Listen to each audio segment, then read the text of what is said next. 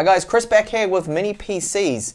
Now it's been a while since I've looked at some in the channel and right now I've got with me, this is the Intel NUC, the new basic entry-level model from them that is now powered by the Gemini Lake, which is the successor to the Apollo Lake. And that's pretty much the reason why I decided to get this, so I can have my first hands-on with the new chipset. So there's a few changes with the Gemini Lake over the Apollo Lake. It now supports double data rate 4 up to 2400 megahertz, which is good. That's a big increase over double data rate 3 1600 megahertz. It's got one megabyte more of cache on the CPU, so instead of the three megabytes cache, it now has four. And we also have support for up to 60 hertz 4K, which is great because the Apollo Lake that was capped at 30 hertz, which was rather laggy if you tried to use that with a 4K monitor in a PC desktop mode there. It just wasn't a great experience, and now it's going to be nice and smooth there with that higher refresh rate. So this little PC you can see, very tiny. It does come with a VESA mount, so you could mount it onto the back of a monitor or a TV if you wanted to. And if we have a look at the ports on the back of it first we'll start out with. So we've got two USB 3 ports here. We have optical out, which is great to see. We don't often have an optical audio port on mini PCs and something if you wanted to set this up as a media PC it's, it's really good to have that option there. It also is uh, a, a 3.5 millimeter jack as well for your audio out there too. And we've got a vent here you can see at the top so this is where all the heat's going to be coming out. It's only a 10 watt processor but it still is actively cooled.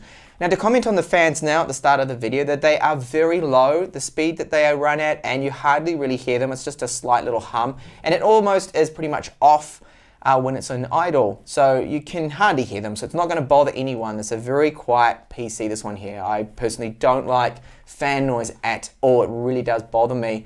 And it's uh, one of the reasons why I would use a mini PC instead of a desktop PC for light tasks at least. So we've got two HDMI ports on here, so you can run two monitors at 4K 60 Hertz. And we also have here, you can see uh, the gigabit LAN port too. So if you want to connect that up to LAN, then you've got at least a high-speed port on that. So on the right-hand side here too, we've got a, another vent. This is an intake vent. And we have a Kensington lock slot and also a SD card slot there you can see. Along the front, those two little dots there are dual array microphones. This is another big thumbs up here to have mics on this and two of them, they're quite good quality as well. And that can be used with Windows Cortana, for example and you can see another two, three uh, USB 3 ports on there. Now that one that's orange, that's a powered port, so if it's in sleep or standby, you can charge devices with it. It also has an IR receiver in the front along here, so you can use an optional remote for it to use it as a media PC. And we do have a 3.5 millimeter headphone jack with microphone support. So overall, the build and design of this little Mini PC is very good. It's very solid.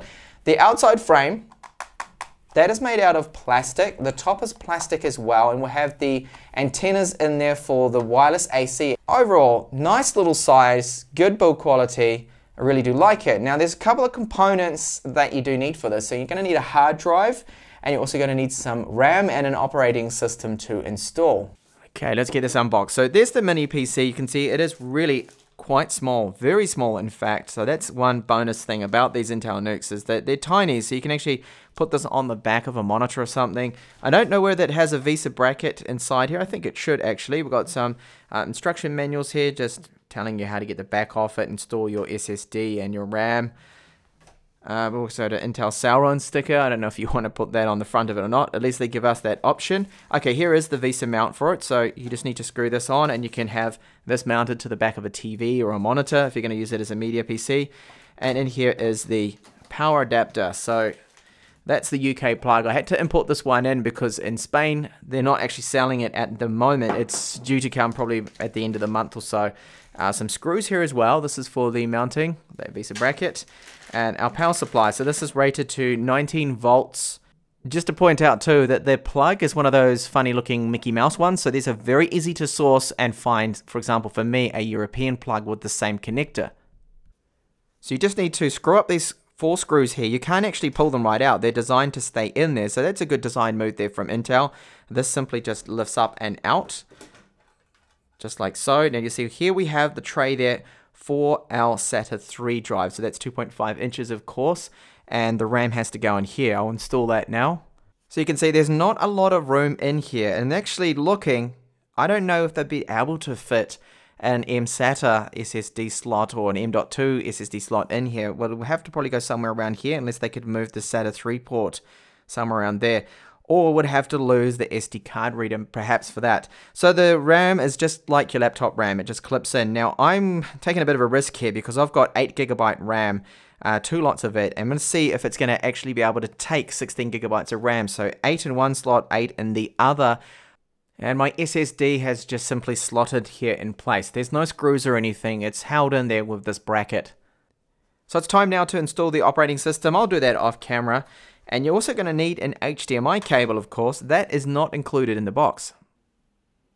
So no review would be complete without having a look at the BIOS. So it's using Intel's Visual BIOS and there's a lot of settings we can tweak and change in here. Now I'll just show you the interesting things here. So cooling, we can adjust the fans. So if you're not happy with it, I mean these fans are very quiet. If you decide that even on the balance mode I don't like it, then you can put it into the quiet mode. Of course that will increase your fan noise. And if we move over to power as well, there's a couple of interesting settings here. So you can tweak up the package power time window. Unfortunately, we cannot completely unlock the power limits.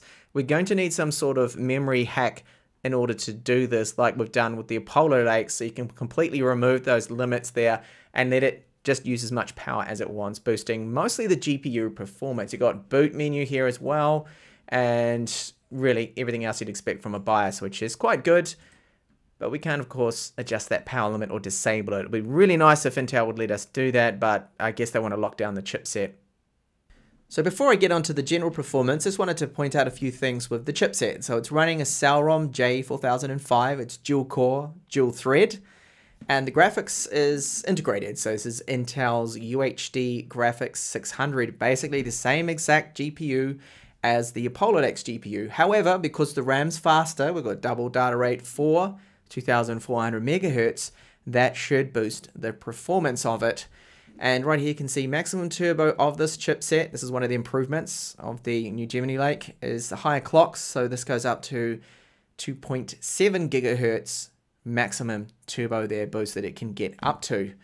Now if I have a look at the CPU information right over here, you can see that there is an unlimited power limit max, but the power limit 1 is 12 watts. Hopefully we can override this for increased performance. It will probably help the GPU clock up and boost and turbo higher as well, but that is currently set. We cannot change that or increase it. The time I've extended to 128 seconds. Now moving over to Microsoft's Edge here, we'll have a look at the performance of a couple of synthetic benchmarks I ran. So this first one here is a Geekbench 4's CPU test. And the single core score here, 2018. Now that's an improvement over the Apollo Lake. Uh, quite a decent improvement there. It's up around about 500, 600 points over the previous generation. But the multi-core score here, not so great. So it's only because it's a dual core really. If this was a quad core, I expect somewhere around 5,500, something like that. And so go for that Pentium J5500 version if you want better performance and quad core, of course. Here is the OpenCL score, so not a wonderful score here. It's a very weak GPU, so 8156 is a slight increase over the Apollo Lakes. Now we have a look at Edge performance with scrolling, very smooth, and it does run really good. So clicking on anything, it's pretty much very quick to load up the pages and no issues there. So we have a look at now Chrome performance. So scrolling in Chrome is not quite as fast, but still ideal. It's fine. I feel that most people will be happy with this. So now let's have a look at 4K performance streaming via YouTube here. So I've got it running in 4K. It's just one of my reviews right here. This is the um, Xiaomi Redmi Note 5. And we'll enable the stats, of course. We need those. So you can see it's dropping a few frames here. But overall, reasonably smooth. Just not as good as Edge still. So if you do this in Edge, you won't see so many drop frames. The performance is a little bit better. So we'll get out of that. And a lot of people have asked me in my previous mini PC tests is to check out spreadsheet performance. So I've got one here loaded in and I find that spreadsheet's going to be fine. Uh, but I do have an SSD, so the SSD is definitely going to improve the performance when it comes to searches of really large Excel spreadsheets and things like that. So if you're using a hard drive, expect slower performance. But I found this to be fine. So for basic tasks like this, basic spreadsheets, I'm using OpenOffice at the moment because it's free. Then it's going to work fine. And same goes for doc editing. editing. So this is a document right here that I'm editing. Fine, the performance. I mean, it's not nothing stellar. It's not super quick. You do see a little bit of lag in startup with some images and other things, but overall, not bad performance. And I think most people will be happy with that right there. I'm also going to try streaming sorry, not streaming, but running a quite a demanding file here. So this is an HEV codec, 10 bit, uh, and the bitrate is 180. So let's get this open, see how long it takes to open up. Few seconds, a little bit of stutter in the beginning, but once it's over that, you can see now very smooth for this kind of bitrate, 4K. It's impressive. Now, a lot of people do ask things like HD audio passthrough. Does it have it? Yes. Does it support HDR? No. So if you want to run HDR files on your HDR TV, uh, it's not going to work. I mean, I connected up to my LG TV and no, you, you can't get the HDR on here, unfortunately. I think because this is a basic model, that's why Intel have that disabled there, which is not great. So Photoshop, yes, you can do minor edits. Now, if you're going to have a lot of layers, you're going to be adding um, lots and lots of different images and filters and tweaks and things. Expect slowdown. You need a lot of patience when applying different filters. But overall, it's not too bad, the performance you can get out of this. And lastly, Kodi, go into this as well. We'll check out performance of that same file. Let's play that one again. So a little bit of stutter just there in the beginning, but this is actually playing it quicker and a lot better than just running that off Windows. Windows, the player that I have in there. Now this is actually running from that SD card slot, so not bad, not bad performance. So as a media player, this is going to be perfect, this system I feel for people. Adequate power and performance for that, and your basic light PC tasks there, nothing too demanding. So I'm doing an extreme multitasking test here at the moment. I've got an installation of Fortnite going on in the background. I'm trying to um, install OpenOffice at the same time. I've got Photoshop trying to be installed. Chrome's open with a few tabs. I'm pushing this well beyond its limits. It's only a dual core CPU and you can see the whole time CPU is maxed out at 100%. And it's not actually holding out too bad. I mean, it's doing all right. If, if, we swap over tabs here in Chrome, you can see there's quite a delay there. That's pretty slow. Scrolling down, that is a little choppy there. And I'll just go back to techtablets.com. Actually, that scrolling speed's all right, considering that I'm really asking far too much, way too much of this tiny little dual-core CPU.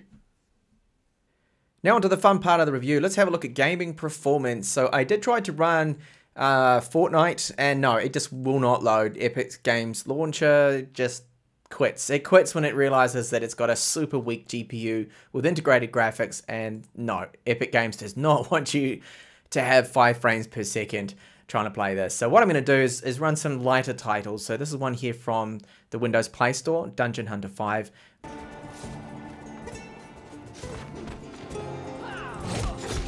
So you can see light titles like this, that it's handling fine. I mean, even the Apollo Lake can play this game perfectly fine with playable frame rates. Next up is a game benchmark. So this is Resident Evil 5. I'm going to run it with these settings here. So 720p should be playable, at least with the Gemini Lake here.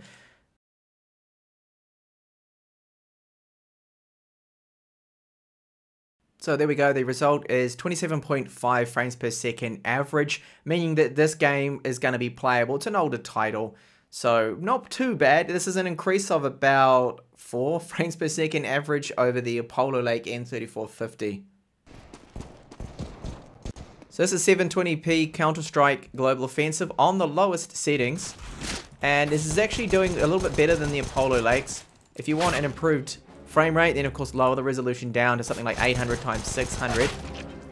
And yes, I'm really bad at this game. I just can't aim at all. So there are quite a few stutters as you can see. But overall, this is a step up from the Apollo Lake, which is great to see. Probably aided by the fact that the RAM is just quite a bit faster. Really aiding that GPU.